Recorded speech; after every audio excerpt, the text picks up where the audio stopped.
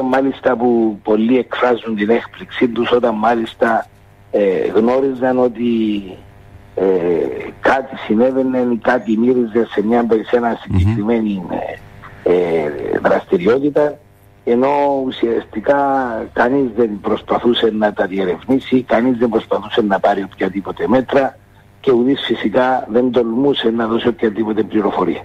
Είτε από φόβο είτε γιατί ήταν συνάδελφός τους και δεν θα τον καταδίκασε.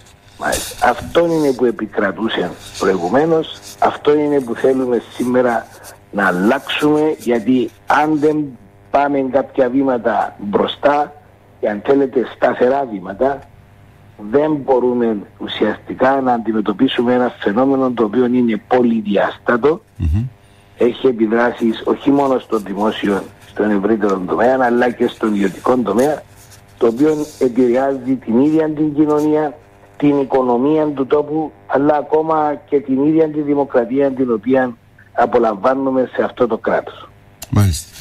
Κύριε Υπουργέ. Τώρα, το δεύτερο νομοσχέδιο το οποίο είχαμε ετοιμάσει είναι το νομοσχέδιο που αφορά ρυθμίζει τα θέματα που σχετίζονται με τα λόμπι, τα οποία είναι, είναι οι αντιπρόσωποι οι οποίοι εκπροσωπώντας κάποια ειδική ομάδα συμφερόντων σε, παρεμβαίνει σε διαδικασίες λήψης δημόσιας από δημοσίων αποφάσεων, ε, αποφάσεων δημοσίου συμφέροντος, είναι στις περιπτώσεις οι οποίες εφαρμόζονται στις περιπτώσεις που αποφάσεων της εκτελεστικής εξουσίας και της νομοθετικής εξουσίας πλην εκείνων των ε, αποφάσεων που σχετίζονται με τις ε, δημόσιες συμβάσεις γιατί υπάρχει ειδική νομοθεσία η οποία ρυθμίζει πρόσφατα έχει τροποποιηθεί και ρυθμίζει επαρκώς θα έλεγα ε, την διαφάνεια σε αυτές τις διαδικασίες ε, καθώς επίσης και τις υποθέσεις οι οποίες έχουν οδηγούνται, δίνονται να ελεγχθούν από το δικαστήριο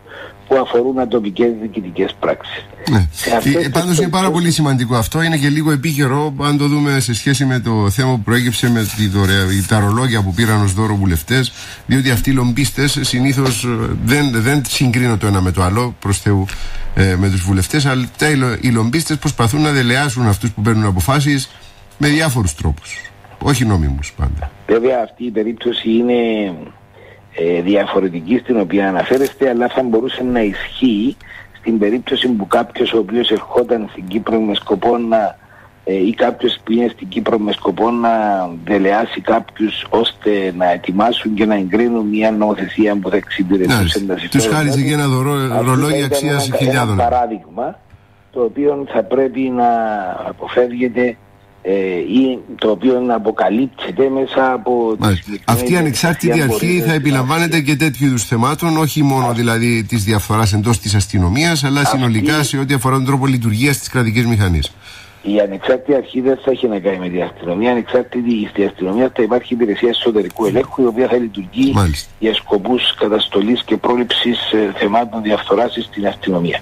Αυτή η ανεξάρτητη αρχή όμως θα τηρεί ένα μητρό ε, στο οποίο θα εγγράφονται όλοι αυτοί οι οποίοι θα είναι αντιπρόσωποι και θα υποχρεούνται να δηλώνουν ε, στην ε, αρχή κάθε ενέργεια την οποία θα προβαίνουν. Από τη μια είναι οι αντιπρόσωποι και από την άλλη είναι οι αξιωματούχοι που θα δέχονται αυτούς τις παρεμβάσεις και τις συναντήσεις μαζί με τους Μέχρι σήμερα δηλαδή ο καθένας κάνει ό,τι θέλει, παίρνει δώρα, δεν τα δηλώνει, πηγαίνει ταξίδια, δεν τα δηλώνει και ούτω καθεξής δεν αποκαλύπτει τίποτε από όλα αυτά και δεν μπορεί κάποιος να γνωρίζει τι κρύβεται πίσω από μια προσπάθεια που κάνει ένας αντιπρόσωπος και ακόμα ε, ποια είναι η συνεννόηση η οποία γίνεται σε κάποια συνάντηση μεταξύ αντιπροσώπου και ενός αξιωματού.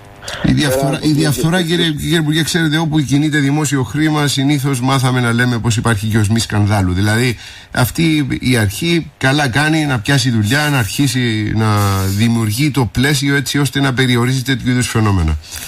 Είναι, θεωρούμε ότι ο ρόλος αυτής της αρχής είναι, είναι πολύ σημαντικός. Γι' αυτό ε, ως κυβέρνηση δώσαμε ιδιαίτερη έμφαση στο να δημιουργηθεί καταρχήν ε, το, η ομπρέλα που είναι η εθνική στρατηγική κατά της διαφθοράς και στα πλαίσια αυτής να αρχίσουμε να χτίζουμε όλα εκείνα τα οποία είναι την, την αγκαία, θα την πω υποδομή, ούτως ώστε να αρχίσουμε να ανοιγείρουμε σιγά σιγά εκείνο το οικοδόμημα που θα προστατεύσει ή θα καταστήλει ε, την διαφθορά στον τόπο μας. Σας ευχαριστώ πάρα πολύ.